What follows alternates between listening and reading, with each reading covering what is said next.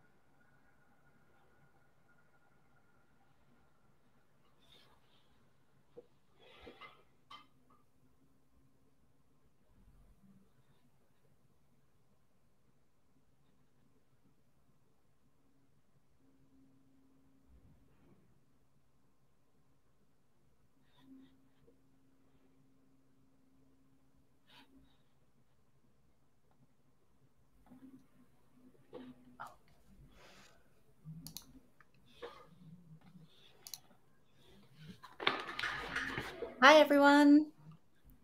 Thanks for joining us. Just looking at the chat, and I can see we've got people from all over the world. Um, just to double check, um, Ryder and JC, can everyone hear me okay? Mm-hmm. Good. Okay, so let's get started. Hi, I'm Raksha, and I look after all of the video content for Bullet Journal. So I'll be running all of the back end stuff, the technical, the fun technical stuff um, behind this live stream. Um, so be sure to leave any questions in the chat and I'll do my best to respond. Um, and we'll post a replay of the event um, after we've after we've finished. Um, just to let you know, uh, we can't um, actually scrap that. I was going to say we don't have closed captions, but we actually do, which I can see on my screen. So looks like that's working. Yay. So um, now I'm going to hand over to JC to introduce the event. Hi, everybody. My name is Jessica, and you might know me as uh, Pretty Prints and Paper. Uh, I've been bullet journaling since 2015 and uh, have been working for Bullet Journal for about two years now. And I do education and community. So that means that I uh, facilitate a lot of the stuff that happens on our membership site, Bujo U. If you're looking for an ad free space to talk about the finer workings of Bullet Journal, you can join us over there um, at Bujo U. And every month, we do these events called Plan With Us, and Ryder talks through the setting up of our bullet journal for the next month. And we go through that reflection process and we uh, talk about that kind of uh, deeper method that comes with the bullet journal. A lot of times people are thinking about setting up their 2023 for um, their notebooks or they're maybe you're, you're, curious about bullet journal for the first time and you're wondering oh my gosh is it really as scary as it is uh, on instagram and so we're going to break this down for you and go through the steps whether you've been a bullet journalist this year or not, we are here to talk through a process that will be good for you no matter what your planning process is. And then you can get a taste of what it looks like to set up your notebook for uh, 2023. So, again, if you have any questions, put them in the chat and we'll be here for you. And otherwise, uh, Ryder's going to walk through kind of what the bullet journal method can really do for you when you reflect deeply about your life.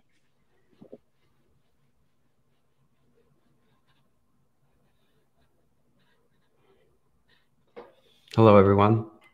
I'm Ryder, creator of the Bullet Journal. Thank you for taking the time. That's really why we are here today to take the time. Take the time for what? We're going to take the time to think about what comes next. I know that a lot of things that I talk about um, are hard to visualize, so I put together a deck that will hopefully help you kind of understand what I'm talking about better. So I'm going to bring that up now.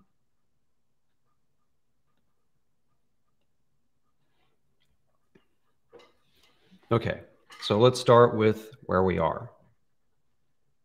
Where you are. We are here. We are here today. We are together to take the time to think about what? To take the time to think about what comes next, right?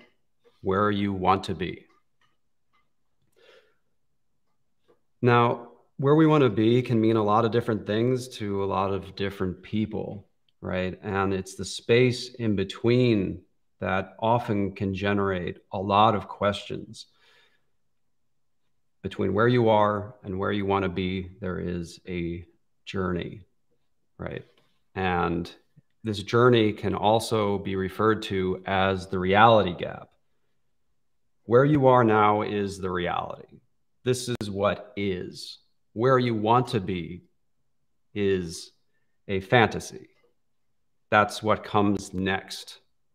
And the gap between the reality and the fantasy can be a source of a lot of suffering for a variety of different reasons that I want to talk about now.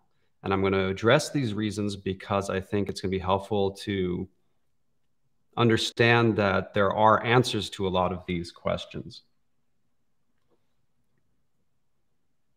Okay, the first is the what in the reality gap. Oftentimes, when you focus on what you want, then you start thinking about what you have, and what you have is not enough. And we can spend a lot of our time with a lot of these big epic fantasies about what we want to have in our life, where we want to be, where we should be, right? And a lot of that can start to make our own lives feel very small and we feel trapped in our own life. And that's something we really want to avoid as much as possible. The next is the where. Sometimes where you want to be is really not obvious. It is unclear.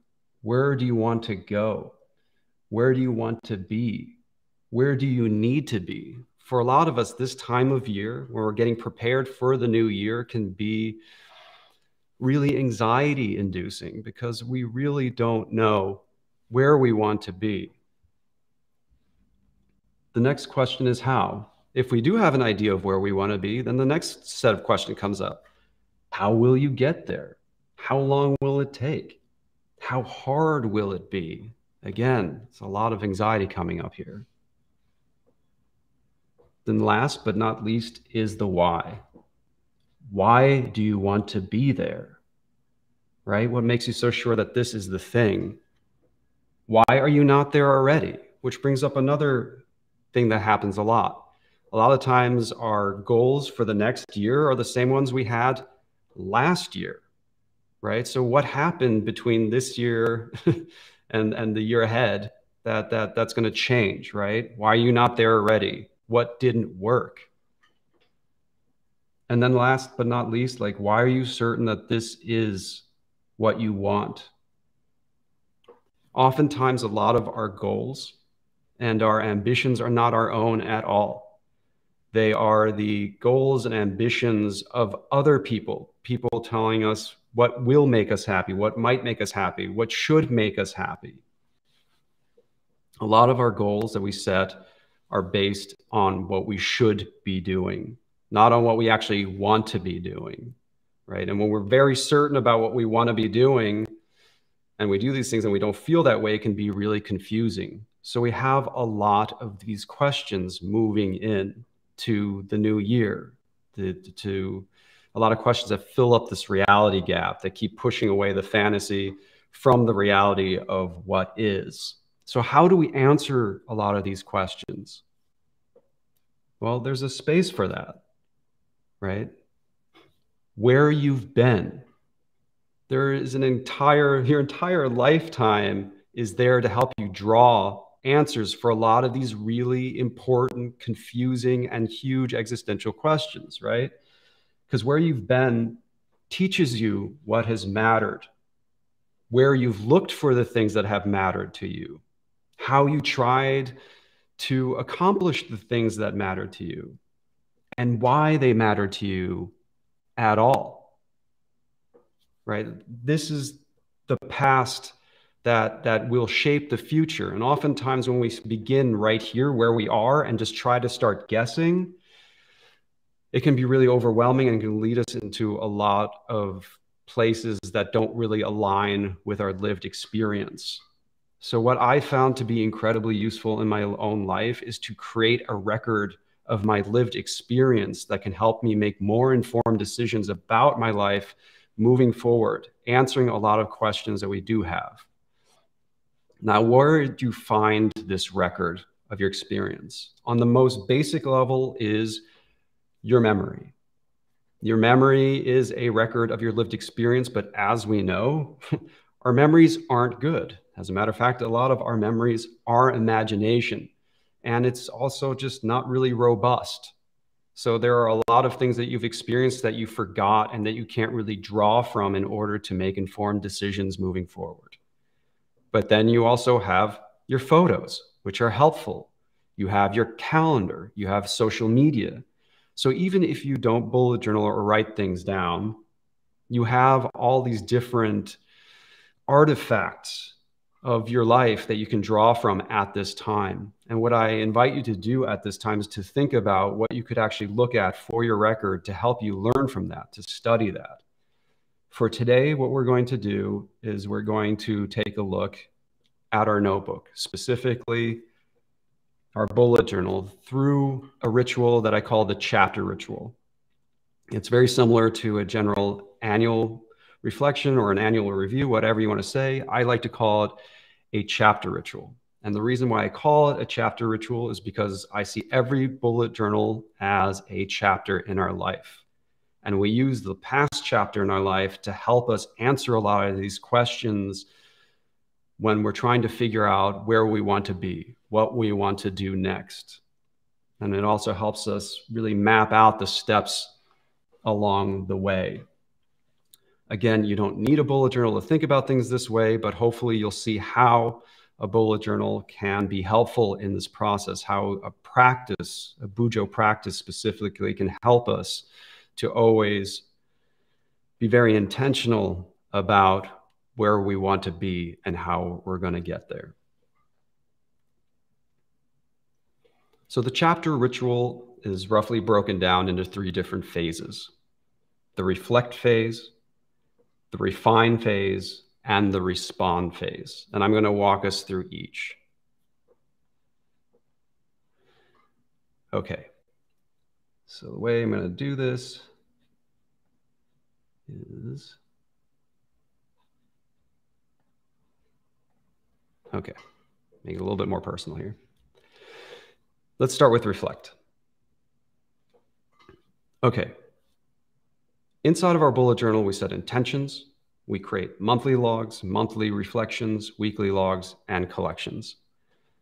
Now, for those of you who don't bullet journal, a lot of these terms may be unfamiliar, so I will try to touch upon it briefly. But if you are interested in learning anything more about this, please go to bulletjournal.com, where we have a lot of free resources, as well as a course that we released this year that dives into every one of these things in the greatest detail I could possibly put into it.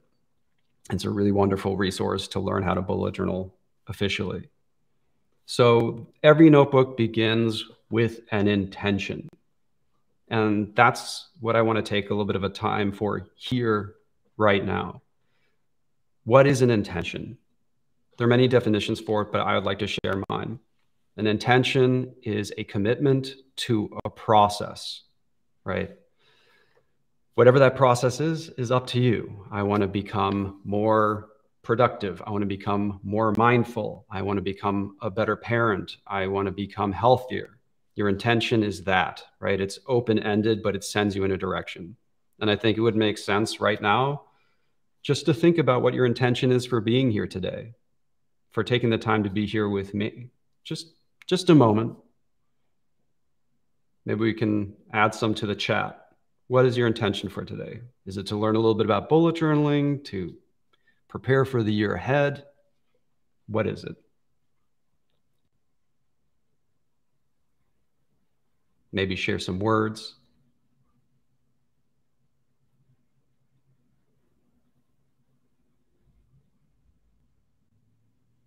Intention is a very practical way to help us focus and figure out why we're doing what we're doing.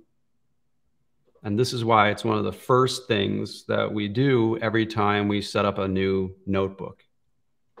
By the end of a notebook, you'll have done all these things. You have taken all these different actions, that you've been recording this entire time. So during the reflection part, what we're doing is we're actually looking at the record that we've created.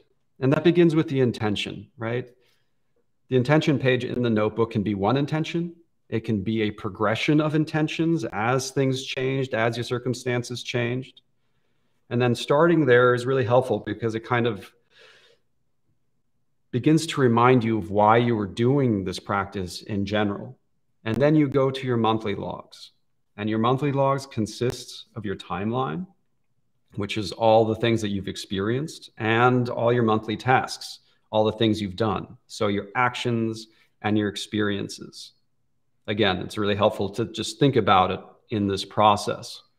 Then next we have our monthly written reflection, which is essentially long form journaling about the month gone by. We're just trying to process it.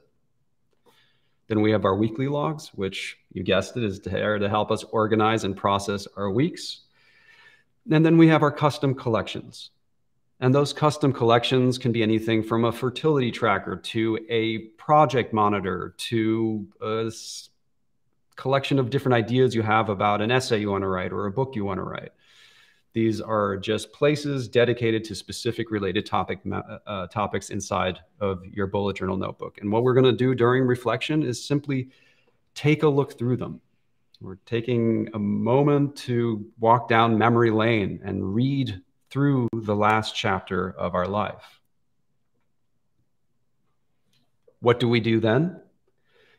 Well, it can be a lot of content there's a lot of different things that you're writing down throughout the year. Some of us might only use two notebooks a year. I use about four a year. So that's you know a couple hundred pages worth of material that you're skimming through. And I don't know about you that that seems really overwhelming to me and I want to keep that really simple. Right? I want to keep that process really simple. So what I do is I go through this process of reflection and then I create cliff notes for myself every couple pages, something will hop out at me. I'm like, oh, right. That was really important. Or, oh, that person was really amazing. Or that experience was really important to me. Or a really hard lesson that I won. Or here's a strategy that was really successful. Rather than writing about it long form, what I like to do is to create cliff notes. And I do this by creating a chapter log at the end of my notebook. The chapter log is super basic to set up. As you'll note, a lot of my own templates for my notebook are black and white, really simple. You don't need to be an artist. You don't need a lot of time, just very utilitarian. And the way I like to do this is on the top left, I write down the date of the lifetime of that notebook. And then I uh, divide it up into four different cells. The left side, you can see dedicated to process, and the right side is dedicated to purpose. So I like to divide my page up into working, not working, more of, less of. So working and not working is more process. And this is more mechanical, if you will. What strategies did you try? What approaches did you try? Maybe it's diets, maybe it's club courses, maybe it's therapies, whatever it is, these are very strategic things.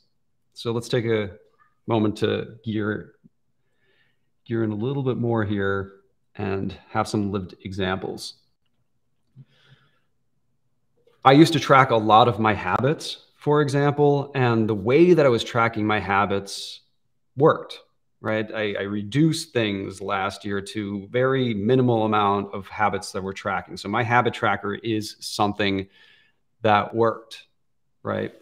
On the other hand, setting six day work weeks, which was something I was trying out, you know, just like working less, but, you know, half days, but uh, working six days. That's something that didn't work for me. That, that's something I tried out. I love running experiments. I mean, that's really what the Bujo practice is for, is trying to run these experiments to help us more align our actions with our values. And some of these things work and some of them don't. The way I planned this vacation was a total mess. That didn't work at all. Okay. And I want to remember that so for me, figuring out what didn't work isn't a sign of failure. It's feedback, it's information. And I need this feedback in order to develop a new approach or to know what I've tried and walked away from. So this is what these cliff notes are really helping me to do. Again, this is an aggregate from the rest of my entire notebook. Then on the right hand side, you have the more of and the less of. And these are things that aren't necessarily super technical. These are more intuitive and emotional, if you will.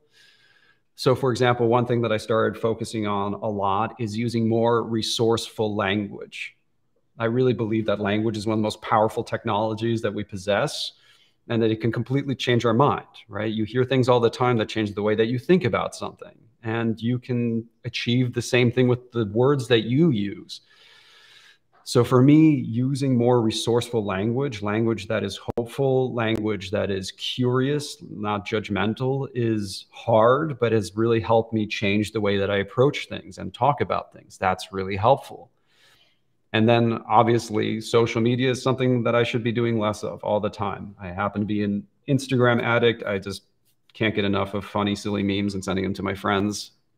Guilty pleasure. But being on Instagram makes me feel worse.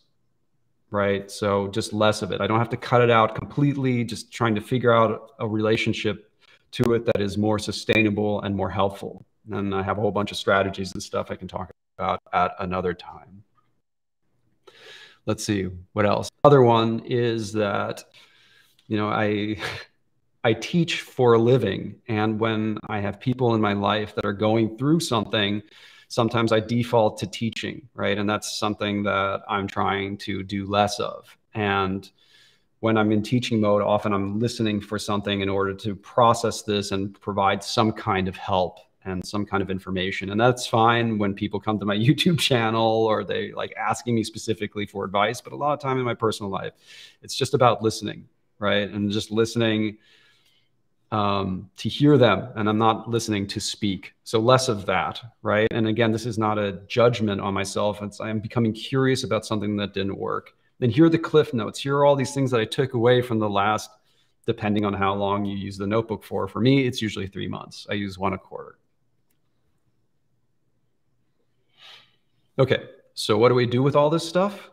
Well, we put them into what I like to call a chapter reflection. What is a chapter reflection?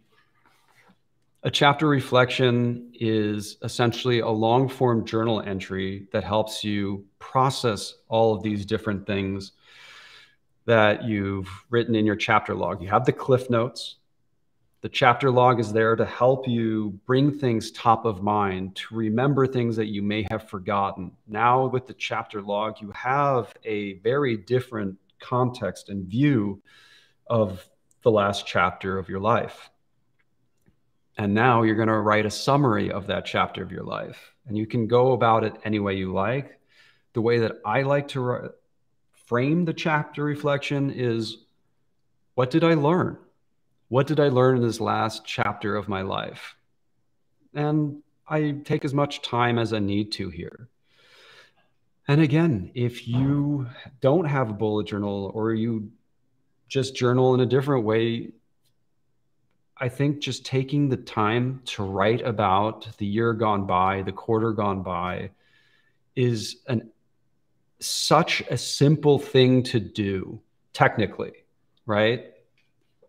figuring out what to write can be difficult, but just think about what you learned.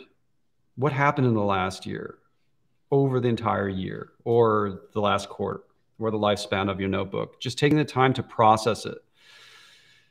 And I like starting with a question What did I learn? And then you write as long as you want. And if you can't figure out what to write about, look at your chapter log. Again, you can create a chapter log even if you don't bullet journal. Just think about stuff and quickly jot things down. What came up? What did you experience? Go through your phone, look through your photos, look at your calendar. Create that chapter log. What worked? What didn't? What do you want more of? What do you want less of?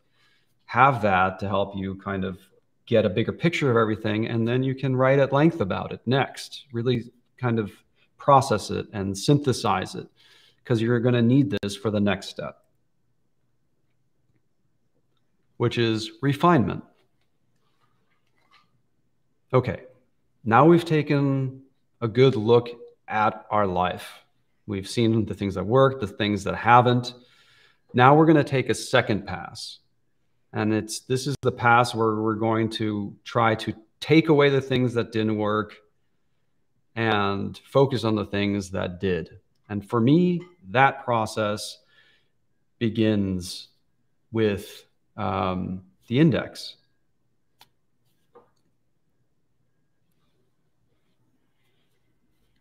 So for those of you who bullet journal, the index usually serves as a way for you to quickly find what you wrote down inside your notebook. That is one of its strongest features. But for those of you who are not so sure why the index matters, this might be the thing that, that makes it a lot more clear. So whereas the index helps us find content during the life of the notebook, at the end of the life of this notebook, it shows us very clearly in black and white where we have invested our time and our energy. This is a list of the things that you spent your life doing. And uh, towards the end of your notebook, this is a great place to have a great bird's eye view of how you lived. So when I am thinking about where I want to be, I start with this where I have been. And the way I go about this is I actually turn my index into a list of tasks. So inside Bujo, in the bullet journal method, we use a dot bullet to represent a task. And what I'm going to go through now is see what tasks I'm done with, right? What areas of my life I am complete with now. So using this dot bullet can help me quickly go through my index and help me check off all the things that I am complete with. These are things that I don't need to invest any more time into. Maybe your projects are completed or mm-hmm. the tracker is done. Things have changed undoubtedly from the time where you wrote something down to the moment to this moment mm-hmm. now or to the moment of your own reflection. And this is a great way for you to see what still remains active, what still remains important, what still remains exciting to you. So I go through here and cross everything off that I'm complete with, which inevitably leaves a couple items that are still open. Like my short story ideas. Those are things that I don't want to, I'm not done with that. I haven't written those short stories yet. Or the reading list. There are a bunch of books on there that I still want to read. So that's not done yet. Therapy notes, you know, chances are you're going to continue doing therapy. So you want to continue having a thread. What is your progress here? Or maybe you're remodeling a house and you have a whole bunch of notes here. So these are projects that are still active, things that are still relevant in your life. And this is a quick way to quickly highlight and surface them so you're not so overwhelmed. Okay, the next step is to look at our future log. Now that we've prepared the things, now that we've surfaced the things that we're going to move over into the next notebook, let's go to the next part of that, which is the future log. Whether you use a future log or a someday in the future log, these are things that you've written down that are outside your current notebook, right? So in the future log, maybe you wrote down things that are going to be happening in the next year. Now is a great time to slow down and to think about the things that you've written down there, right? What is still relevant? What are you going to allow into the next season of your life? That's really the choice that you're making now. Is this still important given your current circumstances? Are these things that still excite you? Are these things that are still meaningful to you? If they are, great. Then that's something you can transfer into your next future log. If not, this is the time to let go. Next are the collections. So within the bullet journal method, people create collections. Collections are basically folders, if you will, for related information. This could be health notes, this could be therapy, this could be class notes, whatever the collections are. And collections can, ra can range anywhere from a simple to-do list to um, large project files to whatever, right? Some of them are very elaborate. Some of them are very minimal. They have a certain function. Sometimes we can spend a lot of time just creating these collections. And what happens is when we spend a lot of time doing something, we automatically assign it value, even if it no longer is valuable. So as we're trying to refine our practice, we really want to look at all the collections that we created or the collections that we want to transfer. Take a good, strong look at them. So the way that I like to think about it is through this process. You have this custom collection. Maybe you're tracking your fitness goals, right? And the first question you're going to ask yourself, is it helping? Is it helping you now? Right? And if the answer is yes, then great. Like how is it helping? Again, you're trying to approach this from a point of curiosity. How's it how's it well it how is it helping you in this case maybe it's helping you because it's motivating you it's helping you stay on point and accurate with your progress can it improve yes or no if you can't think of a way that it can improve great then it's ready to be moved on. If you can think of a way then this is a great time to iterate. That's a beautiful thing about bullet journal it's like you are designing tools based on your needs based on the way that you think the way that you operate and that changes as you get better as you grow. So this is a great time for you to improve that tool that's what's so fun about this methodology not only do you get to create solutions for your own problems you get to improve upon them constantly so they keep on getting better we're not just trying to improve what we're focusing on, but how we're focusing on it, how we're operating towards the things that we want. Now you have custom collections and you you ask, is it helping? And sometimes you find the answer is no. It's not helping. Sitting down and spending hours getting my month ready is not helping. Honestly, it may be fun, but it's actually, it may have been fun, but it's not sustainable, right? And again, here you don't want to approach this from a sense of failure. It's like, oh, this didn't work. You really want to approach this from a point of curiosity instead of judgment. That's the frame of mind you want to enter this with. So if something is not working, we don't want to just throw it out wholesale. We want to ask ourselves, why is this not working? What, what about it isn't working for me? Is it too complicated? Is it taking too much time? Am I tracking the wrong thing? Am I focusing on the wrong thing? is it the wrong goal? Right? This is this is something I brought up before. Why does this thing matter to you? And sometimes the answer is it doesn't. It matters to your parents, it matters to your boss, it matters to your spouse, but it might not matter to you. So this thing that you're tracking, this thing that you're working towards is just not important to you. Okay, so whatever it is, is there a way to improve once you approach something with curiosity is there a way that you can improve upon it right if the answer is no then this is something you can leave behind right you don't have to deal with this thing anymore if there's something you can improve this is a great time to iterate right it's like you figure out why something wasn't working and then you fix it you improve it at the very least you try something different and remember earlier i talked about like why do you still have this goal? Right? Why is this still a goal that you haven't attained? This happens often. We set a goal. It's like, oh, I want to lose 10 pounds last year, and now I want to lose 10 pounds this year. What happened in between? It's chances are it's because the way you were approaching that problem wasn't working. And this is a good time to take a strong look at this. Like you created a collection to lose that weight, and whatever you were doing wasn't working. And just by having a record, you can actually start to see that it's like, okay, this approach doesn't work. And given that this approach didn't work, what can I now change to make it more effective? Right. So maybe it's not going to the gym a hundred times, you know, it's it's about eating better or getting nutritionist involved, something different than what you tried last year. So once you think about a new solution to this problem, then you have then you're ready to move something forward. Okay, and then with refinement, the last part is to look at your chapter log and look at your chapter reflection. We just did this, but now you have an overview of the things that worked and the things that you want more of. And you also have this chapter reflection, which will have undoubtedly surfaced things that are important to you right? That's a beautiful thing about long form journaling. It can bring things to the surface that may have been hidden within a line or a short entry. Just taking the time to really think about the things that you want more of in your life.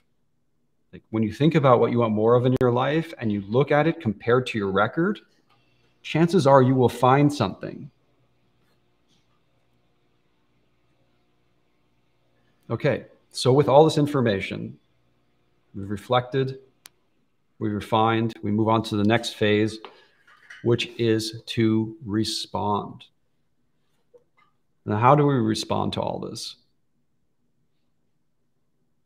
Well, we set up the next chapter of our life, starting with our intention. Given everything that we just went through, chances are you will probably have identified something that is really important to you based on your lived experience, as opposed to simply guessing where you should be by studying your life, chances are you're going to very quickly connect with something that is. It is the reality of something, and you can set an intention accordingly. Oftentimes, the problem with goal setting and thinking about where we should be is that we're taking a huge guess as to what we want. Right? It's a huge guess. The thing is that we know from our lived experience what we don't want by looking back at our life, we can see what challenges we are actually facing, what things we are overcoming. And I think that it's much more helpful to think about those things, to solve real problems, to accomplish goals based on our lived experience, than simply try to invent some goal on the spot. So we start with setting our intentions. So there's a very specific way to break in a new notebook. That's something you can see on our YouTube channel. So be sure to subscribe to this. Um, but setting up your the next chapter of your life begins by breaking your notebook and then by setting your intention. And again, this intention isn't a vow. You don't have to you don't have to overthink it because it's something that will change right? As you work towards your intention, as you work towards your goal, you're going to learn things. Things are going to change and you're going to realize things. And you're like, okay, actually, I got to change my intention based on what I learned. And the having that intention page is there because you can keep coming back to it. Okay, this was my old intention. Why did this not work? What do I want to change about it? Set a new intention. And then you migrate that intention or writing a new one as the first part of the next chapter which I find so helpful. And this is why I like setting up a new notebook at the beginning of every year because it's a it's a new intention for the year ahead. That's it. It's like what do I want more of in my life? What worked? What are, what are things I want to move towards based on my lived experience, based on what I know? Next is the future log. So now that you've crossed things out in your future log, chances are there's still things in there. So what we're going to do now is we're going to move the remaining pieces into your next future log or someday in the future log. Then the next thing you're going to do is set up your monthly goals. So there's a, probably a bunch of stuff in your last notebook that you didn't get around to. And chances are now through this reflection, you've gotten rid of most of those things, but some things still remain. So the first month of the new year, so we're probably going to say January, January, you're going to figure out what are you going to get done in January based on your intentions, based on what you learned in your last chapter of your notebook. What are the things you're going to get done this month? What can you realistically get done in January? And the things that you can't get done in January are things that go into your new future log. So you're starting to create the architecture for the next chapter of your life. And then last but not least, you're going to migrate any collections over that are still relevant. Anything that you still want to do. Now I want to slow down here just a little bit because this is the point where a lot of people like start getting a little bit nervous. Like, but Ryder, I have really dense collections. It's an incredible amount of data. I have a reading list of like 50 books, 60 books that I want to read. Like, do I really have to rewrite everything into my new notebook? This could take me days to do. And I get that. I do. And the answer is you absolutely should not copy everything over from collections that are still valuable and useful. As with everything in this process, we only want to migrate the things that remain relevant, right? So in your reading list, let's say you have a list of 10 books that you wanted to read, but that list kind of started growing over the last six months. Now you're going to take a moment and you're going to check these books. And chances are you're going to probably want to read maybe half that list, maybe even less. Like realistically, you wrote down some stuff, but now knowing what time you have, knowing more about yourself, it's like, no, these are three books that actually really excite me. That's what you want to transfer. or if you're on some kind of fitness journey, you don't need to record or migrate everything that you've written down the entire year. You're just going to migrate the information that you need to move on. You keep the structure of your custom collection, the template, or maybe you improve upon it. And then you add maybe the last two workouts that you did so you can see some progress. It's really up to you, but taking a moment to think about what you're actually going to rewrite is really exciting. It's an opportunity for you to choose what you want more of in your life, to figure out what you want to focus on. And I feel this is such a great opportunity. This is also a wonderful opportunity to, for you to think about what is in your control. Like you may be thinking, it's like, hey, you know, I, I don't have time to do any of this stuff. I don't have time for these things. Like, okay. So if you don't have time for any of this stuff, maybe you figure out what you want to change in your life and what is in your control. Right? I don't have enough time. Okay. But time to a certain extent is something that's in our control. We can say yes or no to engagements. We can say yes or no to going on this trip or this dinner. We can say yes or no to helping people out. Like these are choices that we have to make. So trying to figure out what is in our control can help us quickly reduce the amount of things that we write down or that we focus on. So this is how we respond. We study our lived experience and then we surface the things that we want more of and try to and if we figure out what we want less of Now's the time to take action as well. Remember, now we're not guessing about where we should be. We're thinking about, like, oh, this is an actual problem in my life. I looked through my notebook and this relationship is not working for me.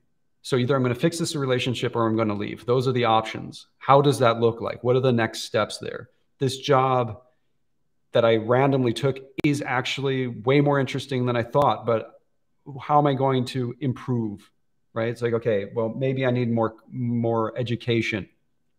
What are the next steps here? That's the thing. Like now you have an opportunity to really think about how to solve problems or how to superpower your ambitions right now. In other words, in this process, we have figured out the why, the what, the when, and the how why you're working on what you're working on based on your previous experience, not based on external influences, but based on what you've really felt, right? This was good. This was not. This gave me energy. This didn't. What did I work on? You have a whole index of that. Here, here's where we always keep hearing people say, Where did all the time go? This is a great time to actually look at where your time went, what you want to focus on, when you're going to do it, right? You have a future log, you have their monthly logs, you break down your big ambitions into smaller, more manageable projects and how you're going to go about it. Well, you know how you're going to go about it because you've done things before. Some of those things haven't worked and you've figured out why they don't work. And now you have a new opportunity to try something new. So you don't keep doing the same thing over and over again and expecting new results. Okay, we've talked about a lot, so I'm going to summarize this pretty quickly. What you just witnessed is the chapter ritual inside the bullet journal method, right? Bullet journal is not a notebook. bullet journal or Bujo is a methodology that happens to use a notebook because it helps us create a space for us to have uninterrupted time to think. The chapter ritual is the ritual by which we go from one notebook, we transition from one chapter of our lives to the next, and we have a physical artifact here, which is a notebook. So the first step was to reflect. We reviewed our intention, we summarized our experience, and we surfaced what was most alive for us based on our lived experience. Then we refined that content. We located what worked, filtered out what didn't, and defined what matters. Then we responded. We structured the next chapter of our life around what matters to us, supported by the tools that we know to work based on our lived experiences. So, in other words, hopefully you can see how this process can really help you figure out how to get from where you are where you want to be. Now, we only touch the surface of a lot of this. Let me get a little bit more personal here. So, I know this was a lot and it might seem really complicated. And what's really important for me is that I just want to introduce you to this process because it has a lot of different tools, as you can see. And I think the reason I wanted you to set an intention is because I wanted you to frame this experience with your own needs. And maybe you see a tool here, or you see a tool there, or an approach or strategy that works for you. And that's really what bullet journaling is about. It's about figuring out what you want, why you want it, and how to get there. And hopefully, this process will have shown you what is possible. Again, you don't need to use everything. Even if you use one thing, if you took away one thing from this, that's all that matters. Don't feel like you're doing something wrong. Bujo looks different for every single practitioner. What I'm showing you here has worked for me. And if you want to learn more about this, I highly encourage you to take the course or to join our membership site, Bujo U, where we talk about this kind of stuff all the time. It's a social network that's dedicated to intentional living and where we all try to help each other out and figure this out. And I get to learn a lot from you as well. Speaking of which, I know we're coming close to the end, so I want to make sure to take some time for your questions.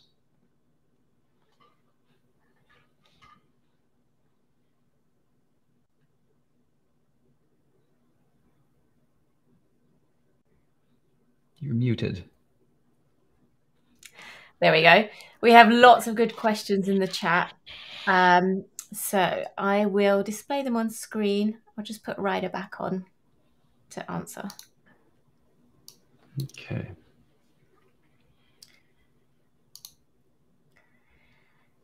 The first question we have is How do you not get lost in reflection? When do you stop?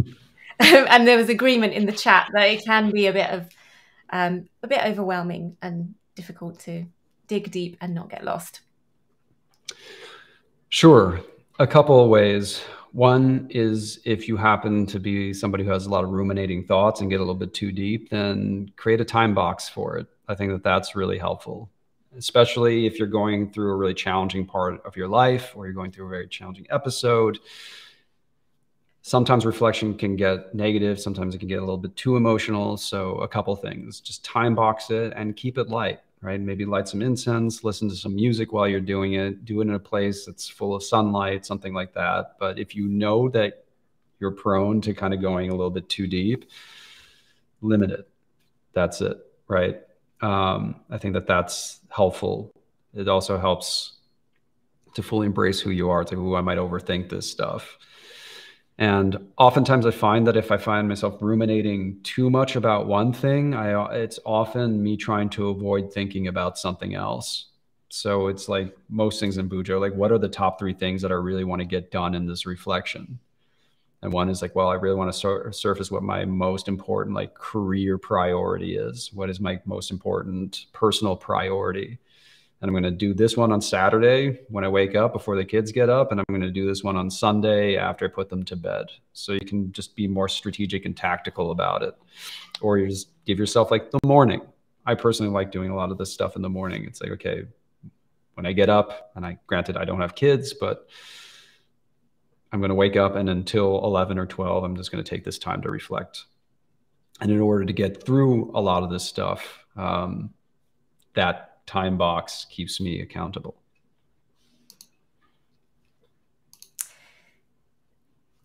Mm, the next question is I often find it difficult to decide, to decide on what to put in the future log from collections and intentions. Is there a process to make it easier to decide on things?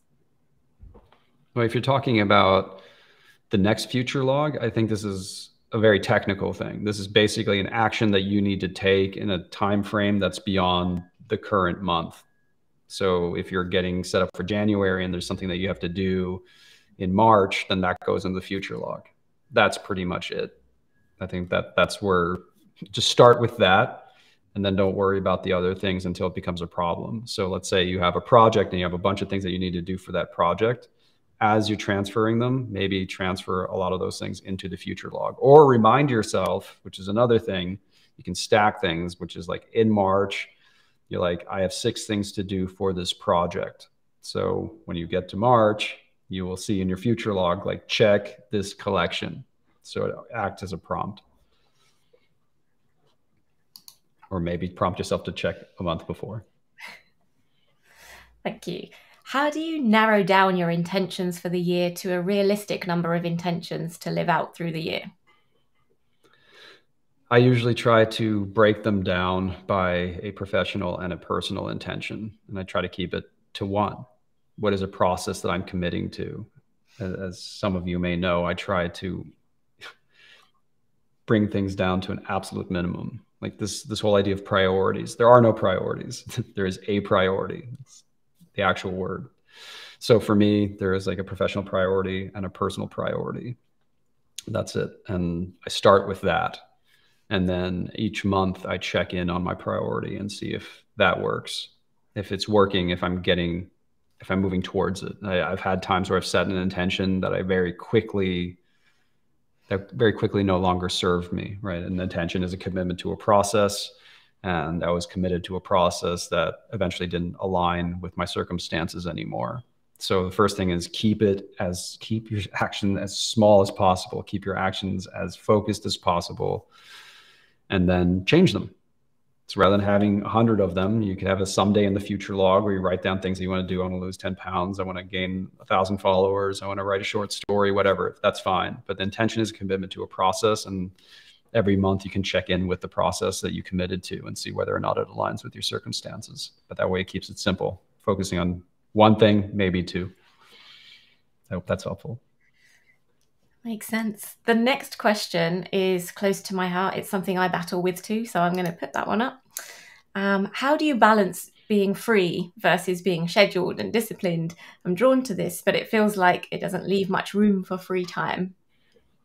Uh, I can see that because I just created like a very rigid slide. But when you actually do a lot of these things, I mean, what we're talking about now is a process that can take anywhere from an hour to a couple days, depending on how deep you want to go. It's really up to you. That's one process. But while you're bullet journaling, I think the thing that appeals to most people is that it can free up a lot of time.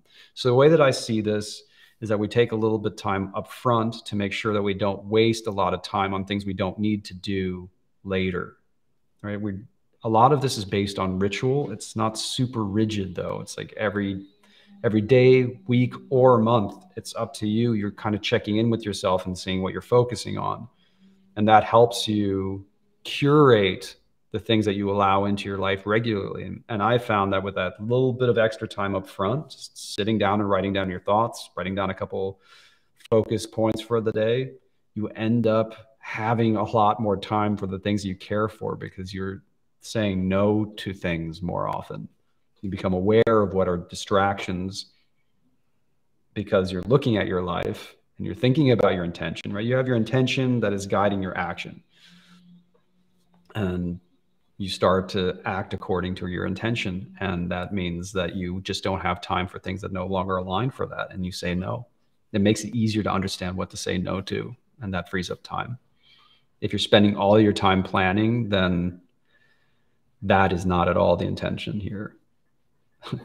I advocate for you to spend as little time as possible for this to work. And that's really up to you. To be very specific, I spend five to 10 minutes bullet journaling every day. That's it. The only time I take more time is during the weekly ritual and the monthly ritual and now the chapter ritual, which is half an hour, maybe an hour, and then a couple hours that's it. But during the day, it's 10 to 15 minutes. I think we have time for one more question. Okay.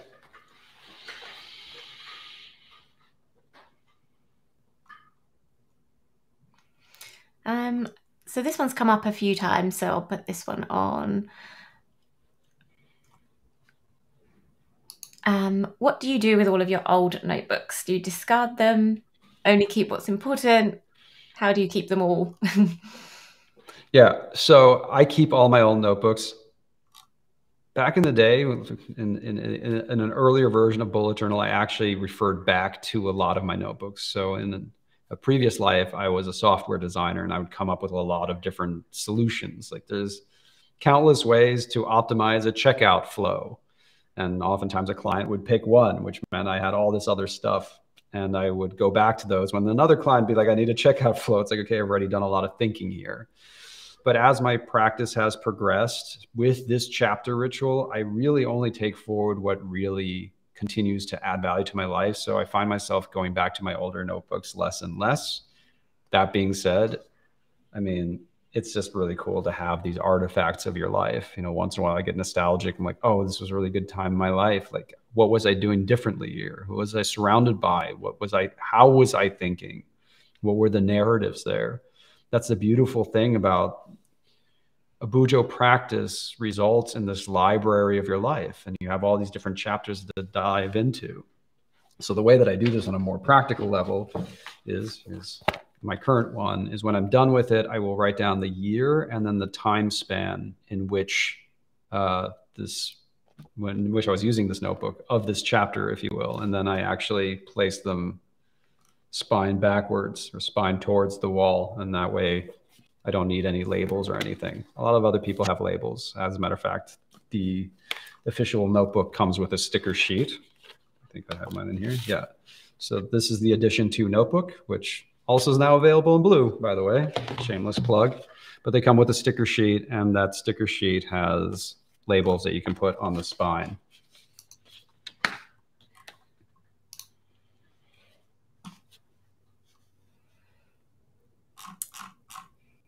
Okay. Shall I take one more or? I think we can squeeze one more in. There's so many good okay. questions. Let's do it. Oh, the pressure. well, one thing I also want to say is that a lot of people tuning in, I imagine, have never bullet journaled and don't really—they see this and like, wait, this is way too much stuff. So let me quickly submit one thing for your consideration. If any of this made sense, we're going to have a replay of this that you can watch later and you can kind of go through the steps. But again, if I had to boil this down to the simplest version of this process is get maybe three or four sheets of paper, right? One you can fold in half and then create the chapter log where you just look back and really quickly take cliff notes, things that worked, things that didn't, things that I want more of, things that I want less of, and use the artifacts in your life. Use your calendars, use your Twitter feed, whatever you want to help you quickly remember and then just write about it. You don't even need a notebook. You can do it in Notion, if you will, whatever, whatever your weapon of choice is, just taking the time. That's all you need. So that's the, the quickest way. And if you want to learn more, you know, we have a lot of resources on this channel and on the website that you can check out. Okay, let's take that question.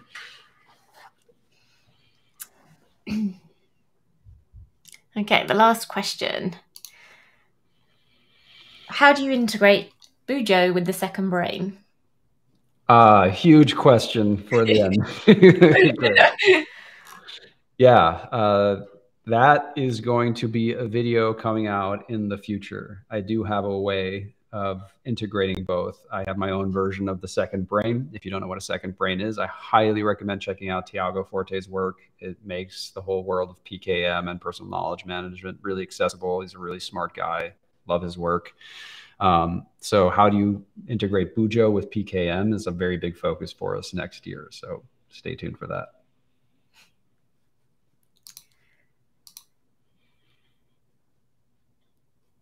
Okay, Thank shall we wrap it with that? Let's bring Jessica back on here.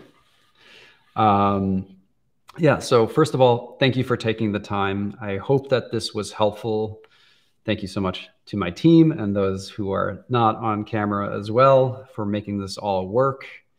Um, to learn more, check out bulletjournal.com. We have a course that goes into all of this in detail and more. Uh, it's a self-guided course, so broken down into really small pieces. So hopefully, no matter what your time availability is, it will be manageable. We also have Bujo U, which is our membership site. That's community.bulletjournal.com, where we talk about this stuff all the time. And we have a lot of live events where I kind of do these events. Jessica and Raksha are, are also leading workshops and live events as well. Team, is there anything that I'm missing? Um, just one thing to add. We've had questions in the chat about how to be more consistent in your bullet journal, how to reflect. And um, I just like to tell everyone to head over to our YouTube channel because we just published videos on these topics. Um, so I think they'll be really helpful, um, particularly uh, ways to restart your bullet journal practice, ways to be more consistent, um, reflecting in your Bujo. Um, check those out. Thanks for reminder. There's going to be some stuff happening in our Bujo U community. And if you're looking for more events like this, this is what we do in our community. And we talk about different topics. And next month, we're talking about goals. So, you know, maybe stay tuned to your emails and you'll be seeing some information go out about that. But just as always, this is a process that you can take from as it serves you. And Ryder went through a lot of really amazing information that um, you can pull from, and uh, whatever your intention is for the reflection, stay rooted in that. And you can kind of just choose the bits that will help you the most. You don't have to do the whole thing all at once, especially if you're just getting started. That's the only thing I'll say.